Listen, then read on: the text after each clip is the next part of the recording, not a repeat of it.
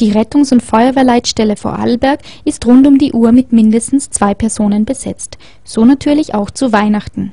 Marte Christoph wird am 24. Dezember den Nachtdienst übernehmen. Und dies nicht zum ersten Mal. Das ist eigentlich ein Dienst wie jeder andere.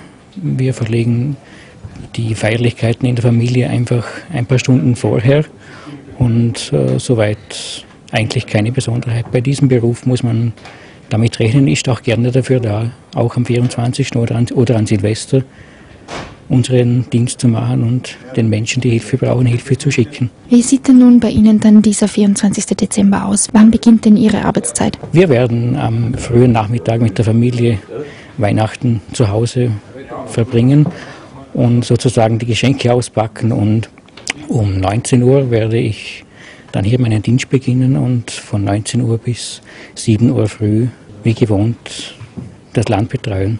Und das macht Ihnen nichts aus?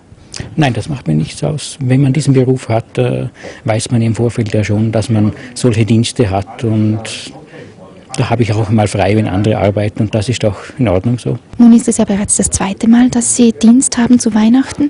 Ist es dann eher ruhig in dieser Nacht oder kommt es da zu vielen Zwischenfällen? Das ist äh, unterschiedlich. Bei Silvester ist das Einsatzaufkommen doch eher etwas höher wie zu Weihnachten aus der Erfahrung. Aber wir werden sehen, was die Nacht bringt. Gibt es auch irgendetwas Weihnachtliches in der Zentrale? Ja, wir haben einen Christbaum aufgestellt und den haben wir auch selber geschmückt und dazu haben wir auch eine schöne, wunderbare Krippe, die ein Kollege gebracht hat von zu Hause aufgestellt und somit haben wir auch in der Einsatzleitzentrale der Rettungsfeuerwehrleitstelle für Vorarlberg doch etwas Weihnachtsstimmung. Was sagt Ihre Familie dazu, dass Sie am 24. nur halbtags da sind? Überhaupt kein Problem.